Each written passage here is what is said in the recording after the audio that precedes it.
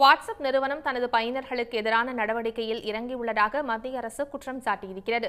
WhatsApp அதன் தனி உரிமை கொள்கைகளில் கொண்டு வந்துள்ள மாற்றத்தை திரும்பப் பெற வேண்டும் அல்லது மாற்றங்களை பயனர்கள் ஏற்காமல் இருப்பதற்கு வாய்ப்பளிக்குமாறு அந்நிறுவனத்திற்கு உத்தரவிட வேண்டும் என்று கூறி டெல்லி உயர்நீதிமன்றத்தில் வழக்கு தொடரப்பட்டுள்ளது. இந்த வழக்கில் மத்திய அரசு பிரமாண பத்திரம் ஒன்றை இன்று தாக்கல் செய்துள்ளது.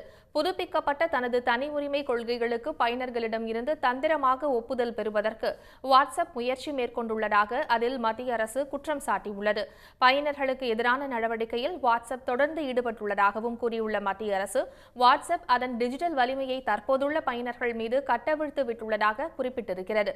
மத்திய அரசின் தனிப்பட்ட தரவு பாதுகாப்பு மசோதா சட்டமாக மாறுவதற்கு முன்பு வாட்ஸ்அப் தற்போதுள்ள பயனர்களை தனது புதுப்பிக்கப்பட்ட தனி உரிமை கொள்கையை ஏற்றுக்கொள்ள கட்டாயப்படுத்தி வருவதாகவும் மத்திய அரசு தெரிவித்துள்ளது. உடனுக்குடன் செய்திகளை தெரிந்து கொள்ள சன் நியூஸ் பெல் கிளிக் பண்ணுங்க.